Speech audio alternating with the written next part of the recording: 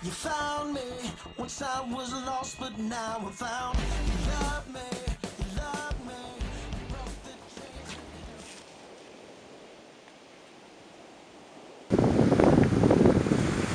chains. I presume you're the nerd. You presume correctly. I believe you have a letter for me? How did you know? Dan, the newsman, told me. Oh man. That guy doesn't trust me at all. Nope, he doesn't at all. So I guess I'll be seeing you later. Wait, I thought you were gonna take me to London with you. Then to London we shall go. You